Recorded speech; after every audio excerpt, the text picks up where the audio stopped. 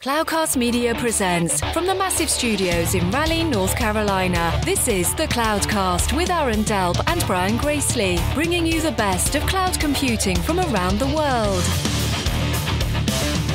Good morning, good evening, wherever you are, and welcome back to the Cloudcast. We are coming to you live from the massive Cloudcast studios here in Raleigh, North Carolina. As you're listening to this, we will either be hitting the very, very end of October or beginning to roll into November of 2021. Amazing that we've made it so far through the year, this far through the year, and uh, heading into the home stretch into the last couple of months of the year. Hope everybody is doing well. Hope everybody is staying warm. If you're in a part of the country like I am that is beginning to get cold, and uh, you know, today on this Sunday perspective, I want to dive a little bit into something that's um, you know, been a very interesting area to sort of watch. And uh, you know, I saw a couple of things come out of a couple of events here recently, some stuff out of KubeCon, but also um, you know, looking back at some some threads that I saw, some stuff that was written by Red Monk and so forth, which is really about developer experience. And developer experience is a really interesting thing because, um, on one hand, everybody sort of comes to the agreement that uh, you know a couple of things. Number one, um, you know, having productive developers, having creative developers can be a huge um, you know important thing to your business right? More and more what we do is digital more and more what we do is driven by software. And so the ability to sort of uh, harness that power if you will have that uh, capability available to you and, and be able to use it in really powerful ways um, is an, you know an important business advantage if you can take advantage of it. So we all sort of agree on that. And then, you know, there's this general agreement that, you know, in order to make developers productive, um, so instead of giving them, you know, a million tools, if you will, and letting them all go uh, do their thing, since developers in many cases have to work collaboratively, you know, they should probably work on some sort of a platform with, you know, something should be there provided to them that is uh, you know foundational that they can build upon that gives them access to self-service that takes care and hides a lot of things you know, there's a lot of folks who kind of agree with that sentiment, if you will, the idea that, um, you know, the more that we can do to sort of hide complexities of things for developers um, and allow them to be productive and not have to deal with sort of the crap, if you will, um, that would be a great thing. And what's really interesting to me is while the industry at large generally agrees to those two things, the second part they can't really agree to. And what I mean by that is, um, you know, oftentimes, uh, you know, I know James Governor from RedMonk mentioned this uh, a little while ago, and he said, you know, everybody at some point always starts off with good intentions, and then at some point they eventually are trying to rebuild Heroku.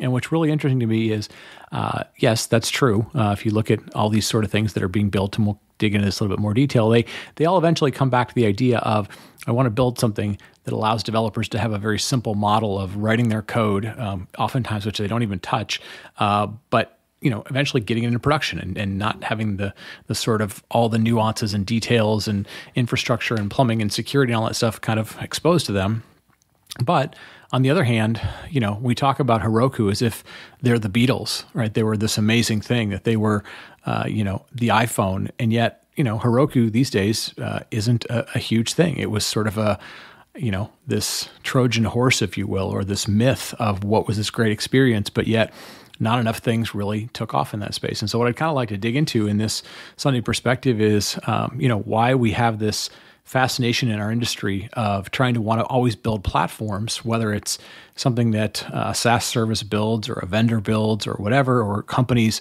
uh, try and build themselves, which we see happening over and over again but yet nobody ever makes repeatable platforms. Nobody ever can kind of, there is no one formula for that. And I want to kind of dig into why that happens, why we're still chasing that, uh, that sort of, uh, that unicorn, if you will, and, uh, you know, what, what that might mean for our industry going forward. So we're going to get to that right after the break.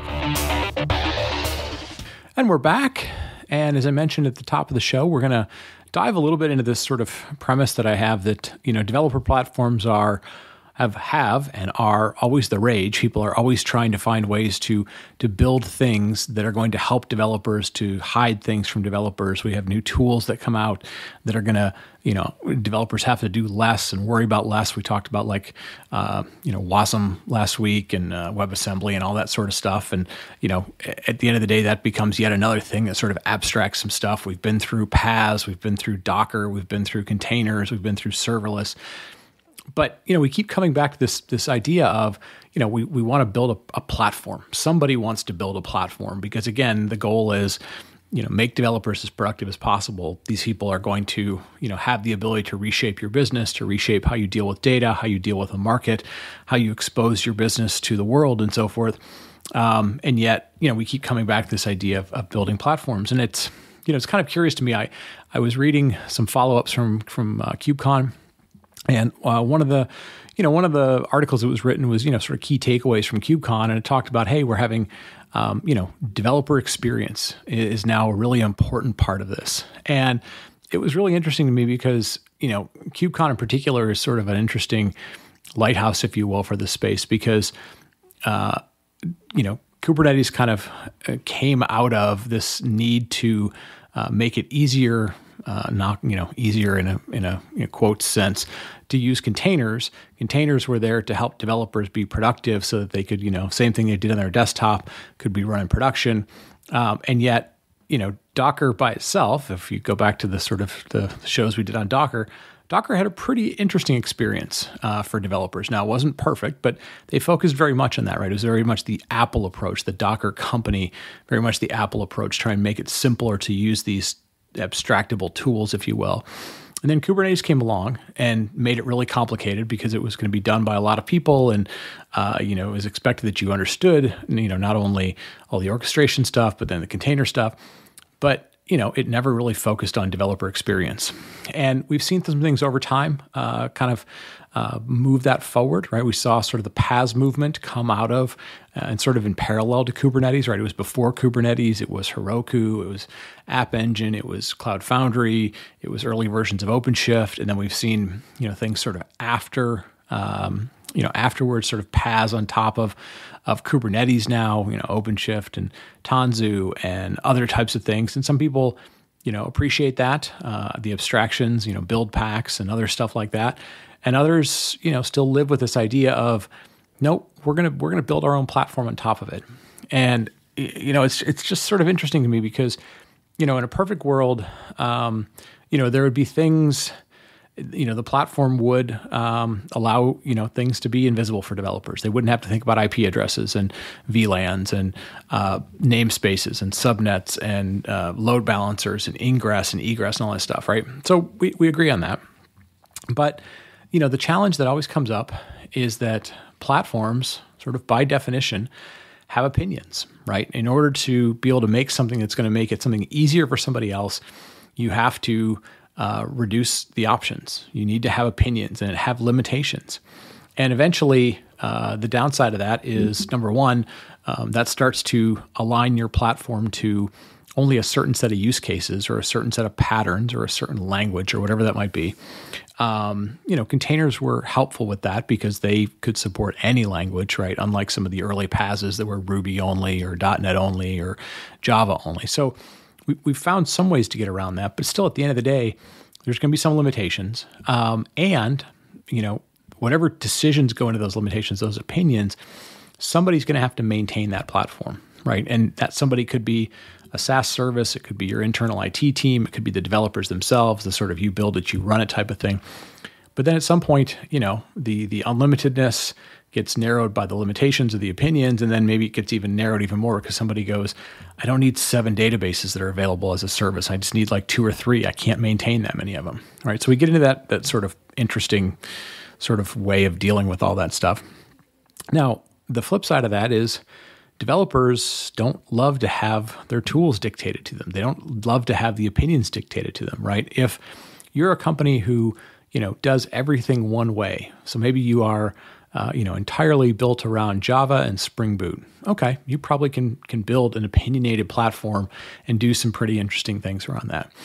But as soon as you start saying, well, we need to do some stuff in Python for the data, data science people, and we're going to do some stuff, um, you know, in uh, JavaScript, or we're going to do some stuff in for the mobile teams, right? Or we're going to do some stuff for for whoever else. Then all of a sudden, it's like, okay, do we expand the opinions? Do we not expand the opinions? So to a certain extent, the developers don't like to have their tools limited to them. They actually don't mind the fact that there are literally hundreds and hundreds of tools because just like anybody who's done like a remodeling project in their house, you know, there's going to be times when you're like, I need a saw, but I don't need that saw. I need one that's a little bit different. I need a hammer, but not the small hammer. I need the big giant hammer to knock a hole in the wall, or I need this thing that kind of just scrapes stuff, right? And you know, you'll go into the toolbox and you'll be like, there's a hundred tools in there. I may not use them all, but there's going to come a time when you sort of need to use one. And so, on one hand, the developers don't mind all that because they know that, hey, if I have access to these tools, and again, they could be an open source tool or something they built or some community member thing or a teammate used, you know, they don't mind all those things. But they don't like their tool to be dictated to them. They don't like necessarily to have somebody say, we're only going to do things this way. Right. And and so it's it's this constant trade off that we have between um, you know, A, we, we want to make them productive one of the ways to make them productive at a scale, not just an individual developer, but at scale, is to do it with platforms. Um, platforms tend to have opinions.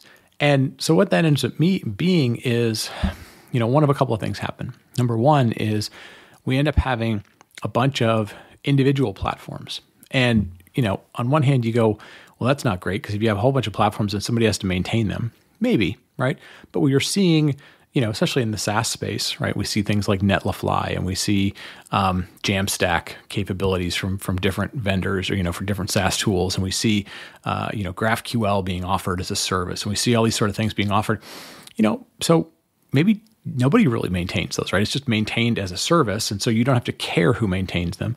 And to a certain extent, you know, maybe you still want to use Heroku. Maybe you want to use something that's Jamstack. Maybe you want to use something that's Netlify. Maybe you want to use something that's you know, whatever it might be. Um, and you don't think about them as platforms anymore, right? So that's one path that we have to get around this, right? The other, uh, you know, other sort of way to get around this is, um, you know, to to build broader platforms and just deal with, um, you know, the fact that uh, it's going to be broad. It's going to have a whole bunch of sort of broad capabilities, ways to do self service. Lots of languages will be supported. And to a certain extent, because more and more people are staying lesser lesser time in their jobs, right? We're seeing more people moving jobs. It's it's really interesting to me that when you have conversations with companies and they start telling you that they're going to build their own platform, you know, it's very clear to you as you're talking to them that that person isn't staying more than 2 or 3 years, right? They'll stay to build the platform. They're building the platform to build their resume to a certain extent. Maybe they're going to solve a business problem, but they're staying to build the platform to gain skills that go on their resume so they can go find something else.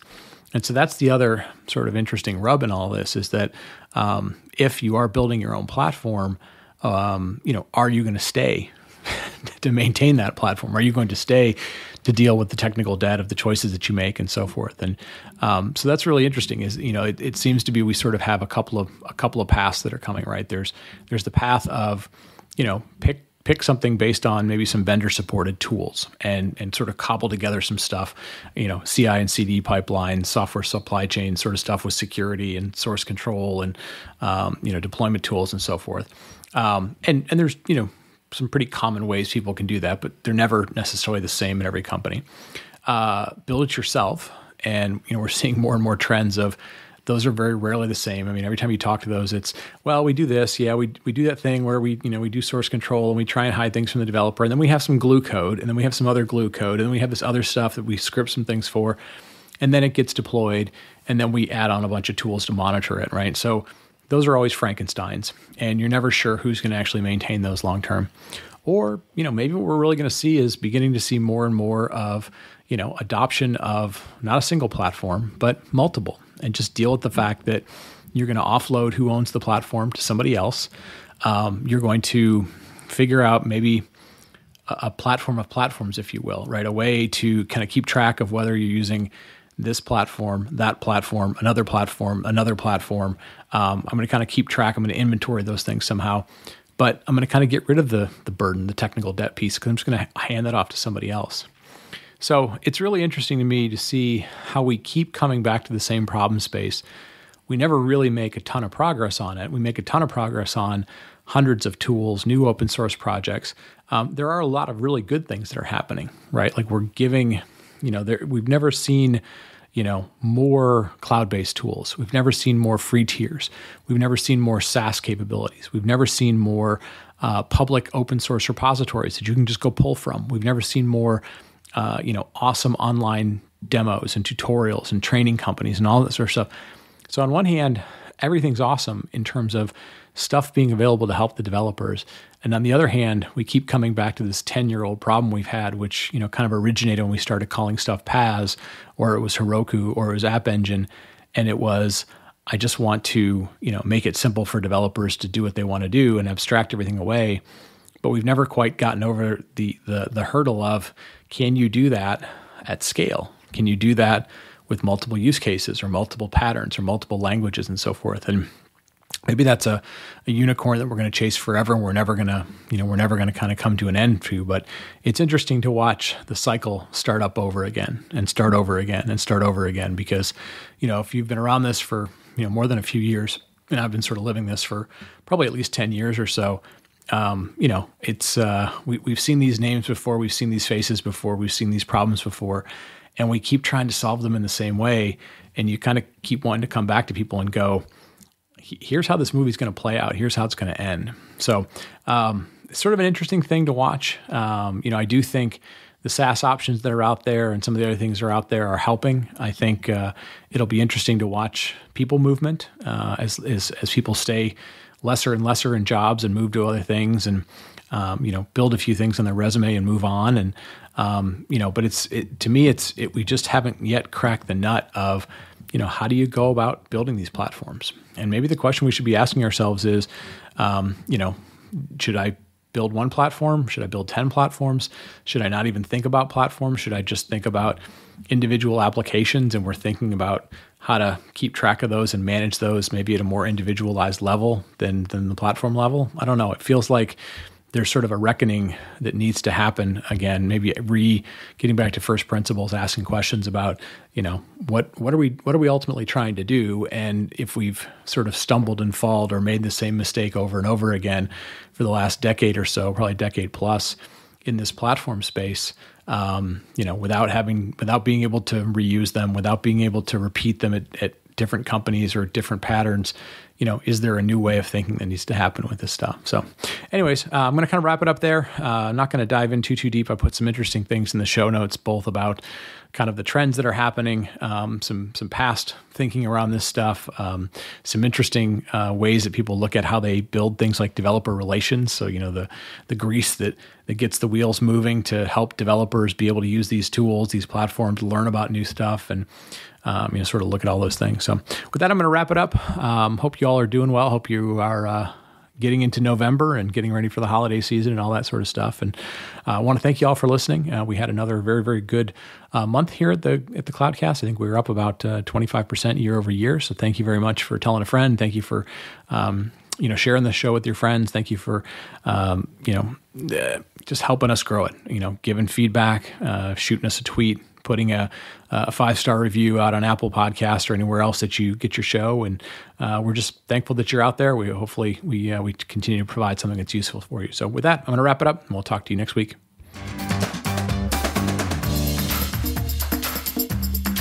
Thank you for listening to Cloudcast Basics.